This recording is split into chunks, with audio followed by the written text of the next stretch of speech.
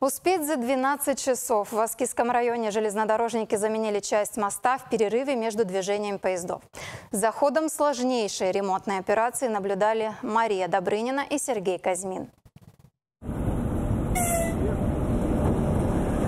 Только поезд пересек мост через реку Аскиз, бригады приступают незамедлительно к демонтажу. В их распоряжении 12 часов, и за это время железнодорожники должны успеть снять старый пролет, подготовить опоры и сразу же поставить новый. Для этого необходимо провести огромную подготовительную работу, убрать провода, отпилить железные крепления, разобрать подъездные пути. Этот мост был построен в 50-х годах прошлого столетия, когда прокладывали линию Новокузнецк-Абакан. И хотя однопутная переправа работала безаварийно, ее время вышло. Конструктивное отличие э, в 1951 году применялись да, под нагрузки э, осевые, да, допустим, там 10-15 э, тысяч тонн на ось, да, на сегодняшний день нагрузки возросли, да, там до 26, уже не клепанные сварные пролетные строения, они цельно-сварные идут. На перегоне Аскиз-Чертыковский, где расположен мост, ежедневно проходит 100 с лишним грузовых поездов. Эта переправа – часть южного хода КРАС-ЖД между Реченск, Бакан, Тайшет.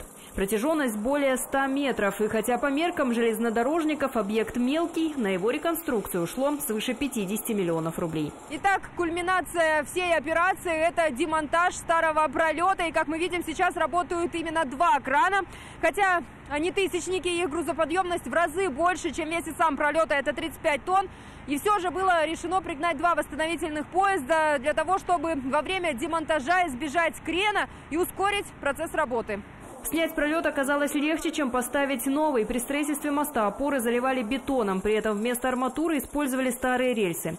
И тут ремонтников ждала настоящая историческая находка – рельсы завода имени Сталина 1945 года. Однако это не самое удивительное, что во время ремонтов попадалось железнодорожникам. Они пролежали у нас, получается, 70 лет. По размеру такой-такой рейс больше в пути не укладывается.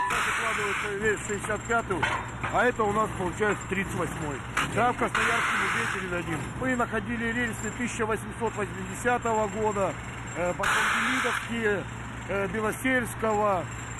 Ну, много, и вплоть даже выходили до американцев. Железная дорога требует ювелирной точности. Рельсы должны сойтись буквально до миллиметра. Права на ошибку нет. От этого зависят человеческие жизни. Давай, Ача, войной. Железнодорожная конструкция была собрана в полночь. Все остальное время бригады закрепляли пролет, готовились к встрече поезда.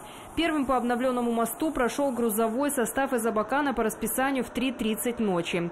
На этот год работы здесь завершились, однако следующим летом железнодорожники вернутся на объект, чтобы заменить оставшиеся два старых звена переправы. Мария Добрынина, Сергей Казьмин, Вести Хакасия.